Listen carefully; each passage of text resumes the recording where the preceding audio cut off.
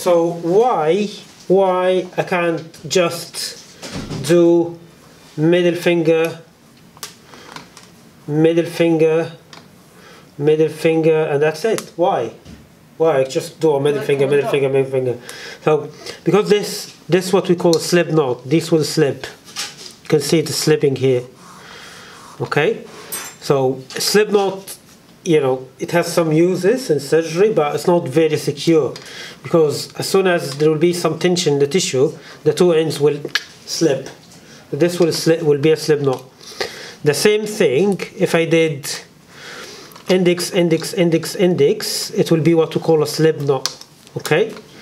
So if that's far away okay and if I'm doing index for example like this index index and again index okay? I will create a slip knot as well so the the thing will will slip here basically okay?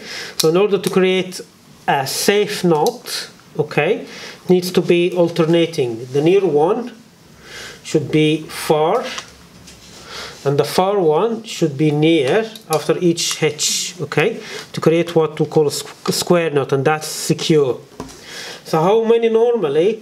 Normally we do three. So we'll do another one. Okay? So normally we'll do that's secure and you will secure it with another one.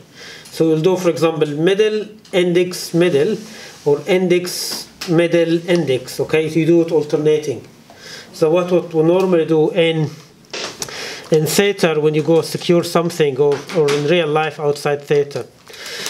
There are other strategies to make more secure knots is to do double hitch thingy. So you can do that. I've done the first throw and you can do another one. Okay? So if you did two and bend down and do the complete the knot, that we'll, we'll call this a surgeon knot. You do two throws in the first one and another one and you can go back and then when you do the third one that will be a very secure knot okay nothing nothing is very secure. I'll show you that I'll show you that again okay? So do middle as usual middle as usual okay? But I hold this with these fingers and adjust the thread again on my fingers and do another one okay? And go down and then come back okay? And then back okay? And that's that's what we call a surgeon knot